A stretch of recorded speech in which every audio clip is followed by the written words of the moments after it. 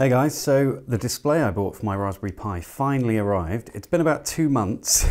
it's taken a while. It cost about £30. This is the uh, listing on AliExpress where I got it from. So you can see that it says it's a 1024 by 600 uh, LCD display and it also has a sort of touch, uh, capacitive touch thing on the front there and it's got a driver board and everything. So we're gonna unbox it and figure out if we can make it work without playing with any settings. So I've already opened this just to make sure that everything was in there. Um, it isn't all in there, there is a cable missing, but I've emailed them about that and they've told me they'll send another one, but we're gonna improvise for now. Okay, so in the box we've got some cables to start off with. Uh, this one is a power cable. It's got a little barrel jack on here and it just goes to a 5 volt supply. Um, I believe the listing said it needed a 2 amp supply. We're going to test that. I'm not sure uh, it will definitely need that. It might be that we can turn down the brightness and reduce that need. Uh, so we've got the power cable there. This one is another USB cable, but it has a little uh, sort of Molex type connector on there uh, and a USB on the other end. So I think this is for the touch screen.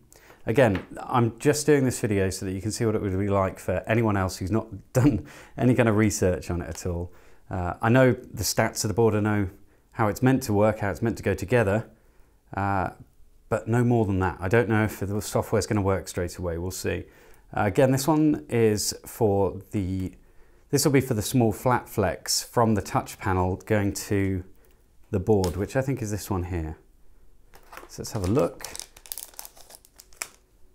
So yeah, this will be the touch board. We've got uh, this cable here would plug into the matching uh, socket and then we've got this one that will go to the, the display. I'm not going to be playing with the touchscreen though, so we'll put those out of the way. I just want to know whether it works or not. Um, this is the driver board.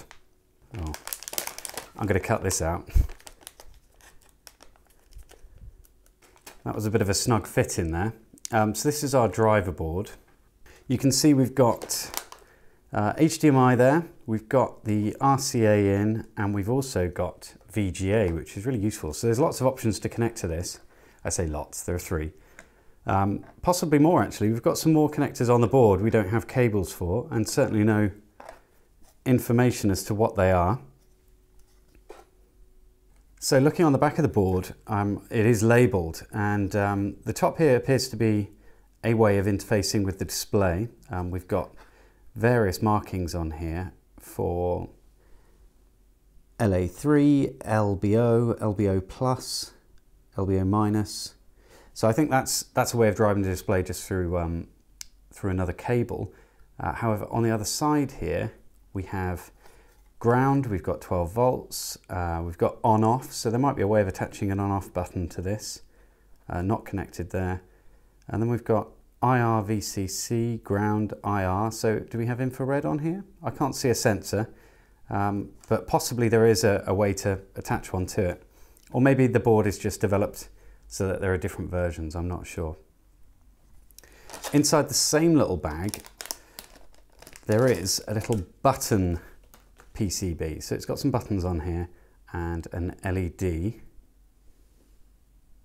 which is labeled as IR actually. So possibly that's, it doesn't look like an infrared receiver to me. It may be that up here there's meant to be an infrared receiver, I'm not sure. Uh, but this is the cable I'm missing. So I'm missing that little cable that's connecting the buttons to the board here. So we're going to improvise with some other cables, I think. But these buttons will be used for the menu system. Let's move all this stuff out of the way. And then, I didn't notice that, we've got a CD. Um, I'm going to try and not use that. I'll have a look what it's on it later on, but uh, I will avoid putting that into a machine and um, loading up any drivers. And this is the screen itself. How are we going to get into here? We're going to just pull it out. There we go.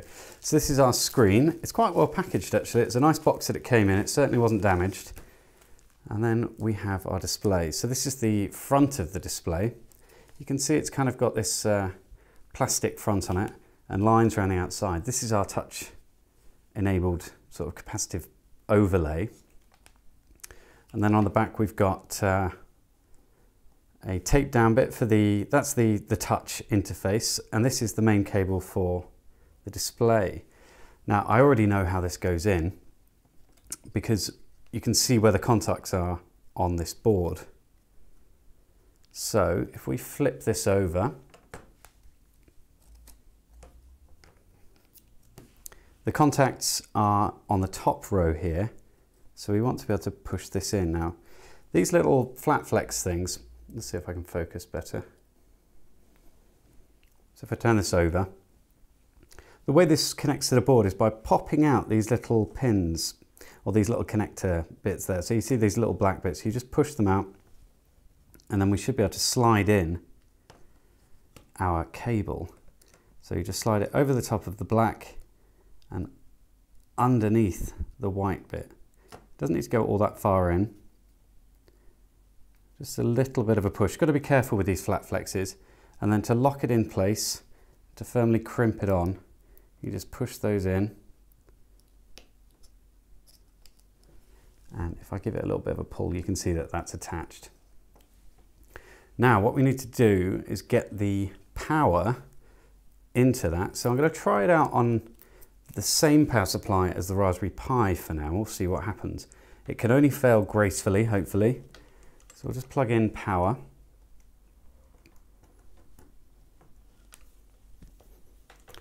Pop that over there. And then we've got our Raspberry Pi here. And I've got a HDMI cable as well. So let's power this up first and see if we get anything on the display. Multimeter to the rescue. So when we power on the board, it automatically goes to HDMI, that will be its default, and then we get no signal because we haven't plugged in HDMI in yet. So let's get the Raspberry Pi, and then it's gone off. I'm not sure if it's going to come back on again, we'll see. Let's get the Raspberry Pi going. So I'm going to power up the Raspberry Pi now, so we'll see what the display does. Uh, I should just point out, I've got stock Raspbian on here.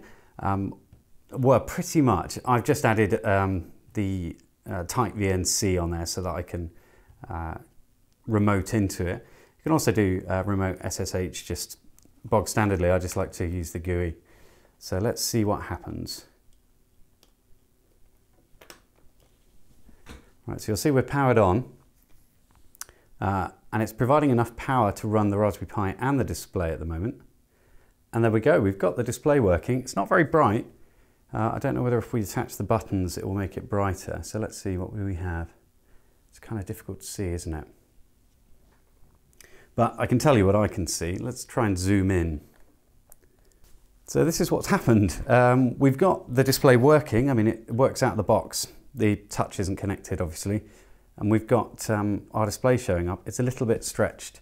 Now that will be the standard settings that are on the Raspberry Pi. So what I'm going to do now is hook up these buttons and go and see if I can't change these settings to make it look a bit better.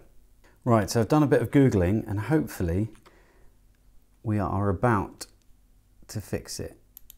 I say that, I really, I really hope that's the case. So I looked at some listings from some other sellers for the same screen and they came up with um, some sort of config settings that you can use. Now most of their stuff is, is commented out.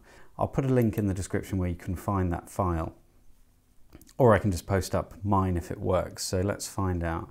Yeah, they have specified HDMI mode 87 and 1. That's odd, isn't it? Well, we're going to save it and see what happens. If it breaks it, then I'll just re-image or I'll, uh, I'll edit it via SSH. So, saved. Let's get out there. I had to use um, LeafPad there because I couldn't read the console. So let's reboot and see what happens.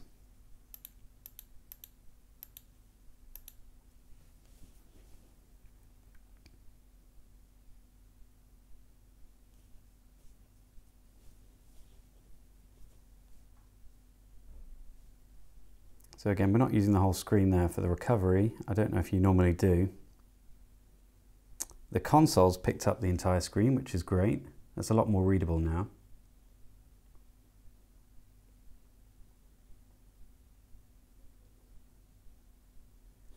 And there we go. Isn't that brilliant? Well, I'm very happy with that. So we have the entire screen to play with now. There is a little bit of a black bar at the bottom there. I'm not going to worry about it too much. That's a nice area. Right. The bit that, um, that didn't work was these buttons. So I've brought a load of female to female cables over. If I have a look at the back of the driver board, so